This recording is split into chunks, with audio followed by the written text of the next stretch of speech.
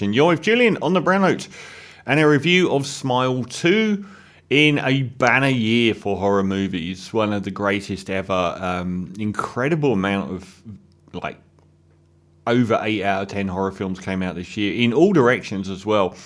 And I said in the preamble to the show how Smile 1 came out and I re- really did like it.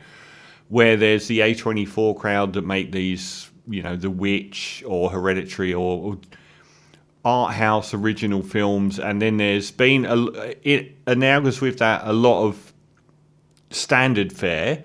Like this year, there was a the remake of The Omen, or sorry, the reboot of The Omen, and films like Immaculate and so on were in a more traditional sense based on horror movies of the past, but really, really good ones.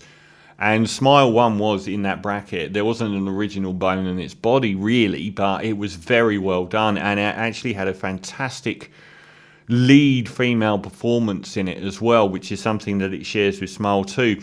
A film that possibly exceeds it in every way. So, Smile 2 features an absolutely amazing performance by Naomi Scott, who's been in quite a few things, but perhaps not as star making as this turn is. And the most interesting thing about the Smile franchise at this stage is a lot of these films, whether they're Insidious or The Conjuring or anything that is, you know, sort of demonic possession kind of fare, um, they focus a lot on the, the creature, on the historic nature and old books and, you know, previous encounters with it and so on. They did that to a very small degree in the first film, which was basically um, about a, I think it was a psychiatric nurse or something, who was descending into insanity, but because of this creature, whose modus operandi is it forces someone through very t- terrifying hallucinations until they kill themselves in front of someone else, and then it's passed on to them.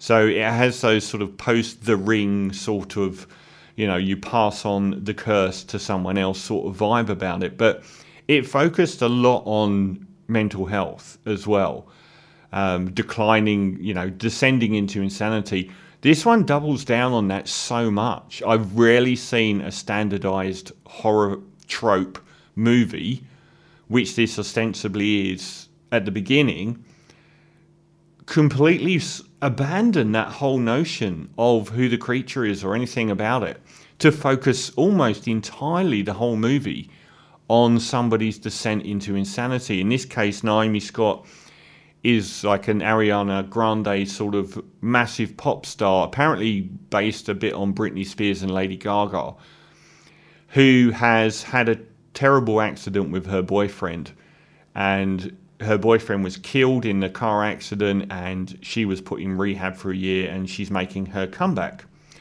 And we see very soon that everyone's putting so much stress on a, a normal human being would crack. The entire film is basically in Naomi Scott's head the she barely is off screen front and center throughout the whole movie. The side characters are almost irrelevant. Who else is in this film? There's a very good bit with um, a drug dealer she goes to see played by Lukas Gage just to get some vicodin because she's still injured from the car crash but they're making a dance in music videos and it's leading up to her tour. But the whole thing plays out like it would have been a brilliant film about a pop star put under the microscope to such an extent she broke mentally without having the horror element in, it at all. Um, it's really well acted and really well done. Um, the like this this Kyle Gallner turns up in this and the the next movie I'm going to review as well. He's at the start of this film, which is ironic. If you've seen the next film, I'm going to review Strange Darling he turns up at the start where he's a cop about to transfer this demonic entity onto someone else. He has to find someone. So at the start, he tries to find the worst human being he can to do so. Um, which is ironic if you've seen Strange Darling and the and the opening of that film. Um, it's really well done on every level. The music by Christo, Cristobal Tapia de Veer is superb as well. Very, very um, jarring at times and, and frightening, and it's really well shot and when action is needed, it ramps up. But mostly, it's about this almost like if you've seen um, Roman Polanski's uh, Repulsion, almost about someone inside a flat going mad, and understandably going mad from the pressures of everyone around the mum, uh, her mother, Rosemarie DeWitt, who just pushes so much pressure on her. And as the movie progresses through her letting more and more people down by her not being able to escape what the monster is doing to her, which is causing these terrible visions to happen and her making her screw up things. The line between what she is seeing and the viewer seeing actually happening and being part of the process to drive her insane becomes really blurred. And it's terrific. It all builds to a climax, and maybe the last sort of I'll say this about Strange Darlings as well. Maybe the last quarter isn't quite as intensely focused as the rest of the film, but I really don't have any complaints. Definitely, even though it came out around the same time as The Substance, arguably the premier horror of the year and one of the best films of the entire year, it leans into that body horror mode for a shocking climax.